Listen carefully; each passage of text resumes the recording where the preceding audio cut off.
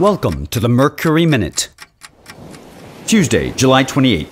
The moon is in Libra as the day begins. Then the moon enters Scorpio, setting the stage for deep emotional intensity.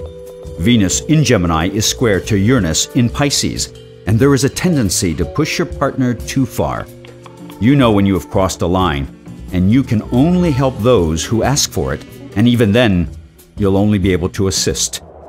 It would be good to spend time on personal matters and keep a low profile to make it into a productive day. Consider contemplation for productivity. Keep your eye on being present and replace bad habits with good ones. Life is a wondrous mystery, and you are the greatest mystery of all. Two things a man should never be angry at what he can help and what he cannot help. Thomas Fuller, Tuesday, July 28th, that's your Mercury Minute.